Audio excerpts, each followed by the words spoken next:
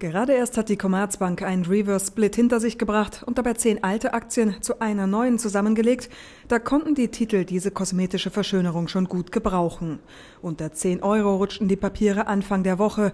Ohne die Zusammenlegung läge die Commerzbank nun also auf Pennystock-Niveau. Anlass des jüngsten Kursrutsches mal wieder die Kapitalerhöhung. Angekündigt hatte die Commerzbank diese Maßnahme zwar schon vor einer Weile und damit den Finanzmarkt schon ziemlich verstimmt. Allerdings hatte man dabei noch keinen konkreten Zeitpunkt und Preis genannt. Nun gibt es die Details. Der Bezugspreis liegt bei 4,50 Euro, also nicht mal bei der Hälfte des aktuellen Kurses.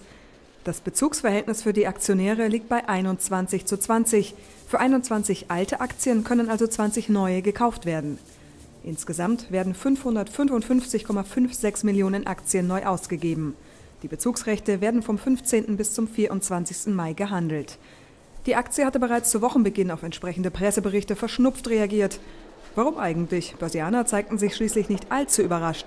Die Aktionäre erleiden natürlich wieder mal bei der Commerzbank eine Kapitalverwässerung. Sie sind leidgeprüft und äh, da weiß man auch nicht so richtig, wer bestimmt im Moment den Kurs. Sind das womöglich Hedgefonds, äh, die den Kurs runterprügeln, um sich äh, billig einzukaufen? Man sollte es für die Aktionäre der Commerzbank hoffen, denn das hieße ja, dass in Zukunft dann wieder aufwärts geht. Für die Zukunft der Commerzbank zeigt sich der Bankenexperte aber durchaus optimistisch. Sine obligo, also ohne jegliche Verantwortung, bin ich für die Commerzbank sehr positiv eingestellt, was die Zukunft angeht.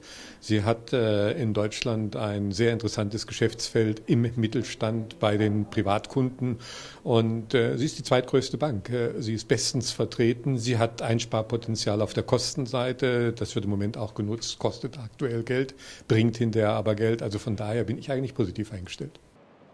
Doch Vorsicht, die Commerzbank ist seiner Ansicht nach Nichts für schwache Nerven. Positive Einstellung alleine reicht nicht, äh, denn man kann sich ja auch irren. Das heißt nur, äh, dass die Verteilung nach oben wie unten sehr breit gestreut ist. Ich setze mehr auf die nach oben.